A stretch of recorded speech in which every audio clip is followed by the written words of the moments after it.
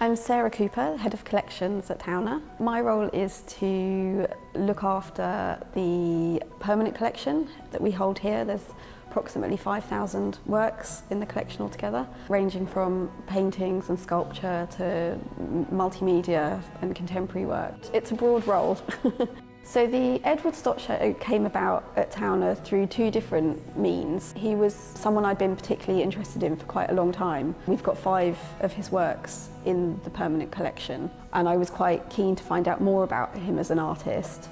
Then I received a phone call one day from an academic called Dr. Valerie Webb who was writing a book about Edward Stott and why he'd been forgotten over the years. We got talking about Stott and how much we both liked his work and I was wondering if there was an exhibition planned about him to which she told me there wasn't and I felt it was entirely appropriate and a great time to do the show here at Towner. Edward Stott was quite early on showed a, a talent for art, for drawing.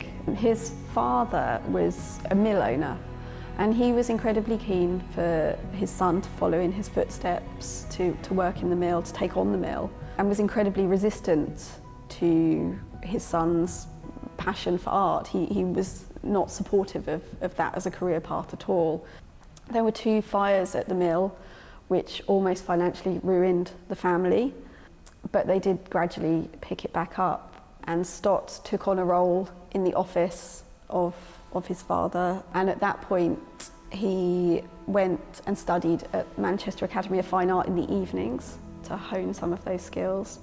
His work was picked up by a, a patron who then gave Stott some money to go and study in Paris and engaged in both kind of the technical advancing of his of his work but also a lot of philosophical discussion about art and influences that were incredibly um, engaging for him. He then went on to study at the École des Beaux-Arts under Alexandre Cabanel, um, who again widened his sphere of, of understanding of, of the art world, um, pushed him to go on, on painting trips outside Paris to the, to the surrounding countryside, which he did and became very aware of other artists who were working in those areas, the, the Impressionists, so Pissarro, Bastien Lepage, artists like that. After he'd finished his studies in Paris, he moved back to England. Um, he was incredibly keen to find somewhere where he could settle, where he could work, to paint, to become part of the community.